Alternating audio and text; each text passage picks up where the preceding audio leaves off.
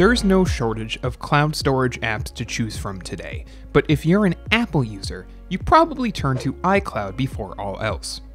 iCloud is built into all of Apple's operating systems today, including macOS, iOS, and iPadOS. Knowing how to manage your iCloud account is important, especially if you're on the limited 5GB plan every Apple user gets for free. If you're looking to free up space on iCloud, it's actually surprisingly complicated. Let's take a look. How you manage your iCloud account actually depends on what device you're looking to use.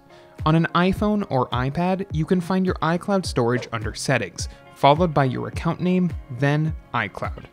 On Mac, it's under your Apple ID settings in the System Preferences menu. If you're looking to access it from the web, iCloud.com's account settings show exactly what's taking up space without having to worry about managing your account on your phone. Once you have an idea of what's taking up space in your account, you'll know what you need to clear in order to free up space. For most people, there are three specific types of files that are going to take up the majority of space in iCloud messages, photos, and backups. If you're an iMessage user, you'll likely find that your iMessage attachments are taking up a ton of space on your account. Clearing photos and attachments from your iMessage threads help clear up space quickly.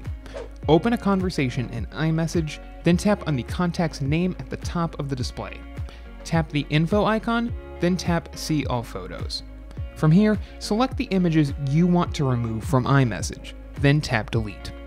You can also delete threads entirely to save room much faster at the cost of losing some of your conversations. What about photos? Well, you'll need to turn off iCloud Backup for your photos to save room. Just disable the Photos app under the backup options in your iCloud settings on iOS. Your photos will be deleted from iCloud, so make sure to backup manually in order to protect your photo library. If your phone backups are taking up the majority of your space, you'll need to use the same backups menu used to disable Photos to clear out apps from your iCloud backup. Some apps take up a huge amount of space with iCloud backups, and that can quickly eat up your account's storage space. Just manage your apps from the same menu we used in the last step, and you'll be on your way to a clean drive. While those are the three main ways to free up space in iCloud, they're just a start checking folders and files in your iCloud Drive, deleting messages in your iCloud mailbox, and removing voice memos can help clear up space. If you liked this guide, make sure you subscribe for all sorts of videos covering iCloud and other technology. And do not forget to check out one of these videos we think you might enjoy.